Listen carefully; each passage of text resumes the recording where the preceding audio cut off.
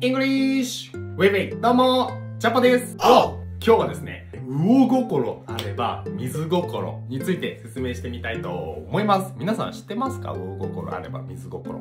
これはね、魚に心あれば水に心があるよっていうことで、えー魚が水に対して好意を持ってたら、えーそれに呼応して、えー水も魚に対して、えーそれに応えてくれるよっていうのから生まれた言葉らしいです。えーつまり、こちらが好意をも示せば、あちらもその行為に対してえー好意を示してくれるよっていうような意味になります。類義語としては、えー持ちつ持たれつっていうのがあるみたいです。うんっていう感じですね。まあ、魚に心、水に心みたいなちょっと不思議な感じなんですけれども、えーこれをね、英語で言うと何て言うのかなっていうので調べてみました。で、英語で言うとですね、scratch me and I'll scratch you. 私の背中書いて、そしたら私もあなたの背中書くよ。猿の毛づくろいみたいで。背中書いて、僕も背中書いてあげる。で、近い英語って言ったら give and take なるらしいです。